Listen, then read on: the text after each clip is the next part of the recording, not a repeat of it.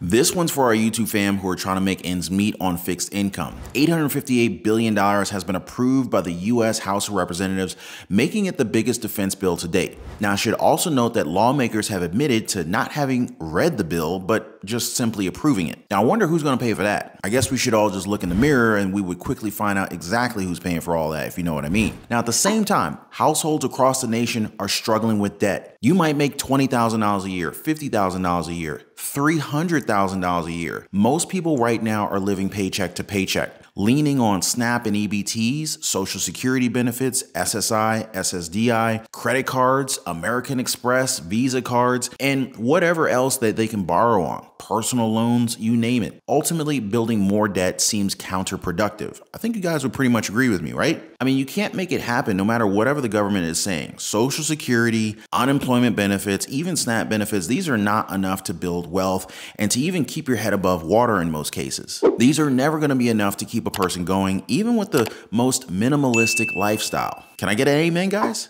So yeah, we're gonna take a look at some big changes that are coming for all of you. Three big social security changes that are coming for 2023. What retirees need to know, SNAP benefits going higher in 2023. But the question is, will it be enough? Definitely stay tuned for the whole video. More than 65 million Americans are on social security benefits right now, and nearly 90% of retired workers depend on these monthly checks to some degree. Now, obviously, there are those who have 401k investment accounts, brokerages, Roth IRAs, and other forms of retirement investment accounts. But this is why I thought we would start with the big changes coming to Social Security in 2023, because this is going to affect almost everyone. Okay, so number one, the biggest cost of living adjustment or the COLA for Social Security benefits. Now, I don't have to tell you guys, COLA is basically the adjustment in your benefits to help offset inflation and rising prices on everything from food to your credit cards. And we all know how bad inflation was last year, hitting a four decade high in 2022. Now, this goes for gas, groceries,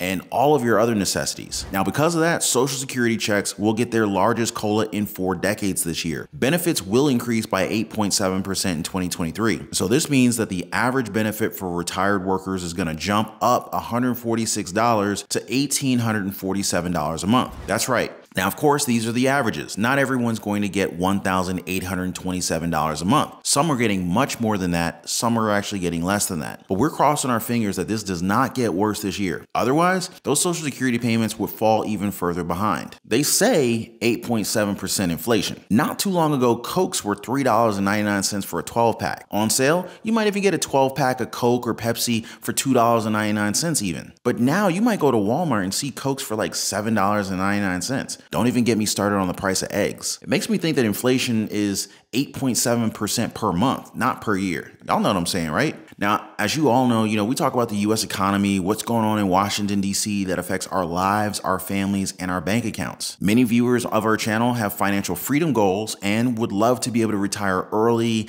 and have the comfortability with the luxury of being able to spend more time with their loved ones whenever they want to. I mean, that's the American dream, isn't it? And I have found that earning multiple streams of income through side hustles, finding the very best stocks that pay regular dividends or other passive income methods have allowed me to make money and free up my time to be able to spend more time with my family. Now, this may never have been possible without learning how to do that from some of the many audiobooks that are available on Audible. Now, I'm gonna be honest, I think books are a great form of entertainment and a great way to learn new things. But the thing I really like is that Audible makes it easy to listen to all of my favorite books, whether I'm traveling, working out, doing chores, at work, or even at home in my spare time. Audible offers an incredible selection of audiobooks across every genre, from bestsellers and new releases to celebrity memoirs, mysteries and thrillers, motivation, wellness, business, and more. You guys know how much I love fitness, but one thing you might know is that while I'm working out my body to improve my health,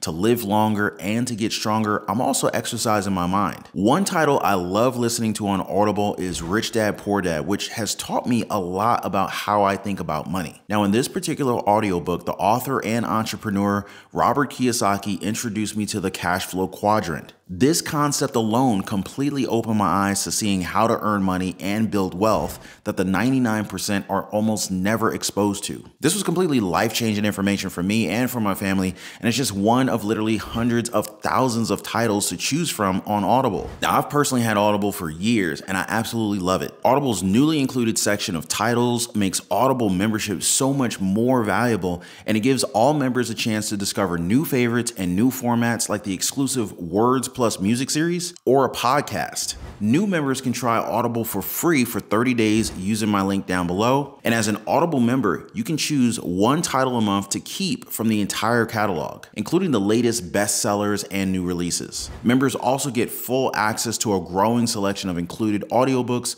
Audible originals, and podcasts. You can download Audible included titles all you want. So be sure to get your free 30 day trial of Audible by clicking the link in the description down below of this video. One more big change in Social Security higher earning limits for beneficiaries under full retirement age. Now, it looks like they're really pushing retirees to go back to work. Sadly so, I know. Workers become eligible for Social Security retirement benefits at age 62, but certain penalties are applied to anyone that starts benefits before full retirement age or FRA. One such penalty is the annual earnings limit. Basically, you could receive retirement benefits while still working, but workers under FRA that exceed the relevant earnings limit will receive a reduced benefit. The lower earnings limit applies to workers under FRA for the entire year, while the higher limit applies to workers that attain FRA during the year. Both limits will increase next year. So, for example, if a worker is receiving retirement benefits will be under FRA throughout 2023 and they earn between $26,240 and $6,000 above the limit, their Social Security benefit will be reduced by $3,000. Then, if a worker receiving retirement benefits will attain FRA in 2023 and they earn $62,520, again, $6,000 above the limit before reaching FRA, their Social Security benefit will be reduced by $2,000. Now, something to keep in mind if you guys are considering freelancing or any kind of side hustles this year. More on that later in this video. Now, once a retired worker reaches FRA, the earnings limits no longer apply. Now, as for the last change in Social Security in 2023, a bigger maximum benefit for retired workers. The formula used to calculate Social Security retirement benefits is adjusted annually to account for changes in general wage levels. As a result, the maximum retirement benefit increases each year. But the calculation is also affected by lifetime earnings and age. Specifically, to get to the maximum retirement benefit, workers must have income exceeding the maximum taxable earnings limit for the last 35 years. They must also wait until 70 years old to claim Social Security. Now, I don't really know many people who hit these, but anyone who can check both boxes qualifies for the biggest Social Security check at $4,555 a month in 2023, which is up from $4,194 per month in 2022. Now, what would you guys do if your Social Security payments went up to $4,555 a month? Drop me a quick comment down below. Now, a lot of my friends on Social Security, they don't buy anything extra. Utilities like internet and water, they keep going up. Most of the time, they only have about $50 left over for food and gas at the end of the month. The rest, they scrape by with the help of SNAP and EBT benefits, maybe even food pantries.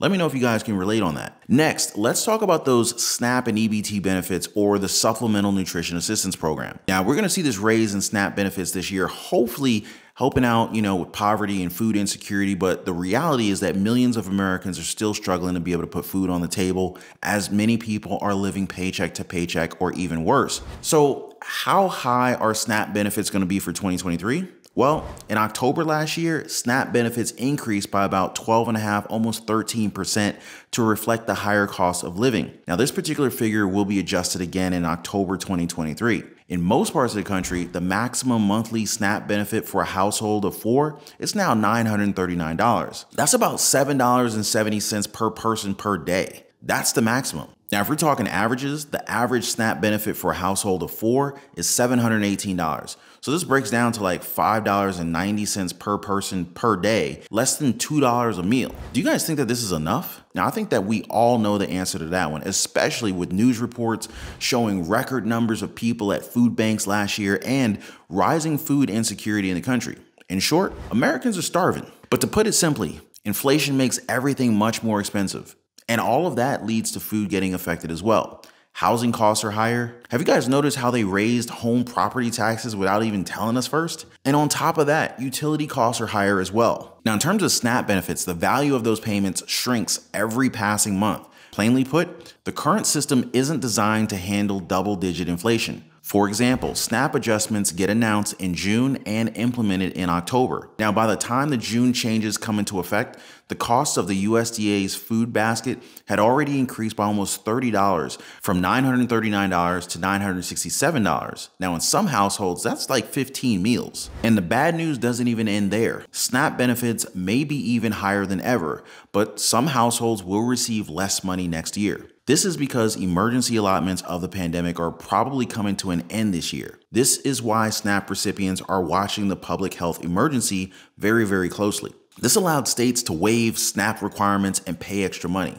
Now, thanks to this, all households could receive the maximum benefit, and those that already did could get an extra $95 a month. Now, the Urban Institute estimates that the emergency allotments kept around 4.2 million people out of poverty during the fourth quarter of 2021. Some have already stopped making these extra payments, and you can guess which political party those states belong to. And when the national health emergency ends, others will follow suit. We don't know exactly when the health emergency will end, but when it does, it will mean that SNAP families will receive less money. Now, Last but not least, changes in retirement rules with the latest omnibus spending bill that passed Congress and the White House. The Secure Act 2.0 would require companies to automatically enroll new workers in a 401k plan starting in 2025. Now, employees can still opt out if they want, but by making this the default, workers are expected to increase their retirement savings by $40.5 billion over a decade. The bill would also allow companies to set up emergency savings accounts for workers who can fill it up through automatic payroll deductions. Let's take a look at some of these new retirement rules that are supposed to help Americans save for retirement. All right, so first, it will require auto enrollment in 401k plans. So employers starting new workplace retirement savings plans would be required to automatically enroll employees in this plan. Then it will be up to the employee to actively opt out if they don't wish to participate. Now, of course, if the employee wants to be able to retire early and retire faster, they can always increase their 401k contributions. Second, employer contributions for student loan payments. When you have to pay down student loan debt, it makes it harder to save for your retirement. Basic math, right? Secure 2.0 could let employers make a matching contribution to an employee's retirement plan based on the student loan payments. That way, it would ensure that the employee is building retirement savings no matter what kind of like almost a guaranteed way of creating some passive income for you for the future. Third, increase the age for requirement minimum distributions. Now, it used to be when you turned 70 and a half years old, you had to start withdrawing a required minimum amount from your 401k, your Roth IRA, traditional IRAs, and whatnot. Then they moved the age to 72 years old. Now, under the new legislation, you likely would not need to tap your retirement savings until age 75 if you didn't want to. Basically, this allows your investments in your brokerage accounts to continue to grow in tax advantaged accounts for longer periods of time, increasing your overall net worth. Theoretically, of course. And if you do need your money sooner than expected, the new rules would help build and access emergency savings. Now, this option would let you make a penalty free withdrawal of up to $1,000 a year for emergencies. Another might let an employer add a sidecar account to an employee's retirement account where the employee can contribute after tax money explicitly for emergencies. So that money could then be taken directly from their paycheck, just like their 401k contributions are. Now, for older workers, they're raising the catch up contribution limits. Now, currently, if you're 50 years old or older, you can contribute an additional $6,500 to your 401k on top of the $20,500 annual federal limit. Now, under the retirement package, those between ages 60 64 years old the final range may be a little bit narrower. They may be able to contribute $10000 instead of $6500 there are also changes that they're bringing to the Savers Credit low income filers that they could get a refundable tax credit worth 50% of their savings up to a contribution limit in a given year. Tax credits reduce the tax liability for your dollar, but refundable tax credits mean that you could get the money in cash even if you don't have an income tax liability to deduct from. Sounds like free money to me. And last, the changes are going to make it easier for part time workers to save. Like what was said in the clip earlier, just one thing. Come on, Congress. Just give us the one thing here. Let me know your thoughts, guys. What should that one thing be that Congress should focus on? Drop a quick comment down below. Now, as for me, I'm gonna make sure to keep an eye out for that one thing plus all the money leads that we're keeping tabs on. Make sure you guys stay subscribed to the channel and make sure your notification bell is turned on.